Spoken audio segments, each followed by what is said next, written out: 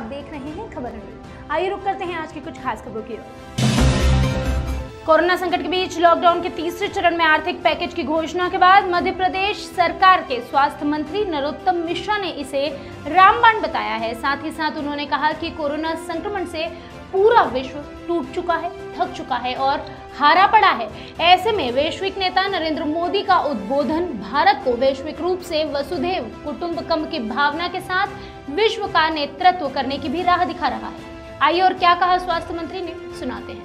संक्रमण से पूरा विश्व करा रहा है।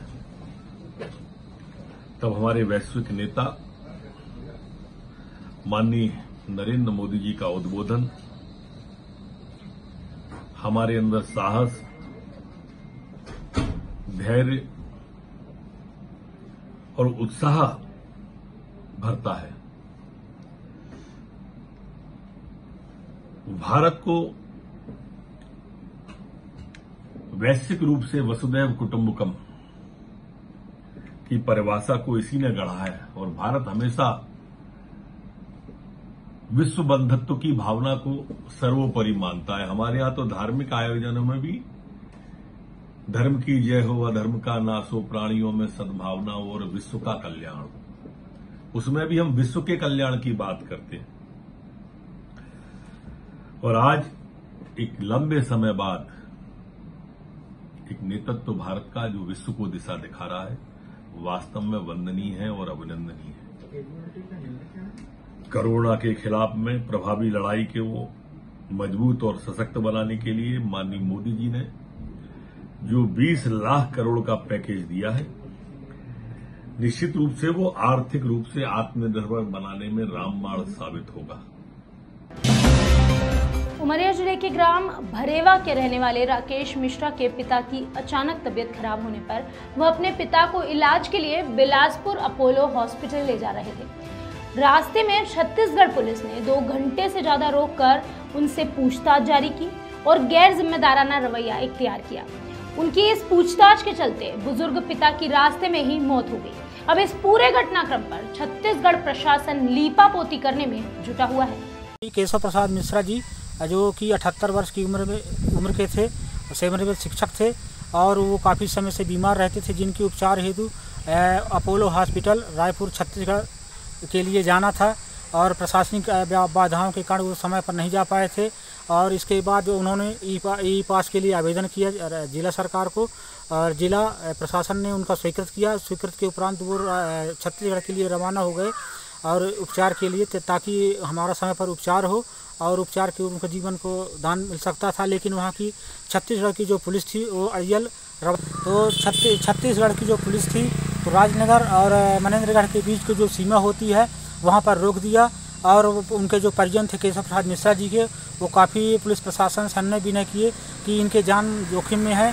और हाई रिस्क में चल रहे हैं। यदि इन, इनको नहीं छोड़ा जाता है समय पर इलाज नहीं मिलती इनकी इन, इनकी मृत्यु हो सकती है।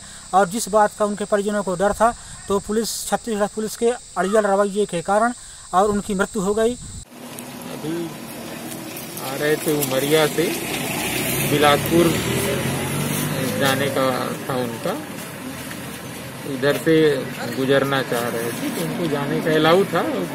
यहाँ से अलाउ हो गया तो भर्ती हो गया उसके बाद अचानक उनका तबीयत कुछ गड़बड़ हो गया।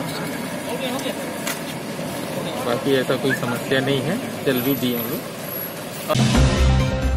कोरोना संकट के बीच लगे लॉकडाउन के तीसरे चरण में फिर से प्रशासनिक अधिकारियों ने कंटेनमेंट क्षेत्र का दौरा कर बंदोबस्त का जायजा लिया।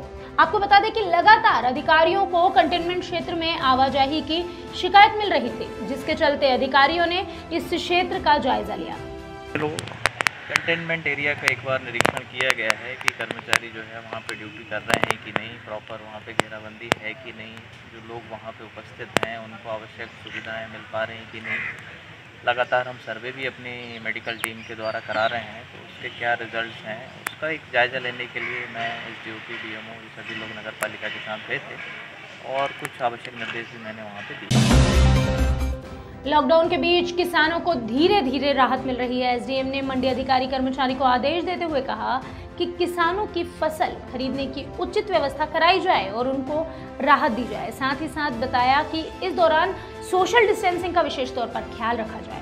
क्या है आज शामगढ़ मंडी जो अभी पिछले बंद पड़ी थी तो अभी जिला प्रशासन ने निर्णय लिया कि किसानों की मांग को देखते हुए कुछ गाँव के गाँवों को भागों में बांट के बारह बारह गाँव बांट के और सभी प्रकार की फ़सल की नीलामी करने का निर्णय लिया गया है। क्या इसमें गेहूँ भी रहेगा?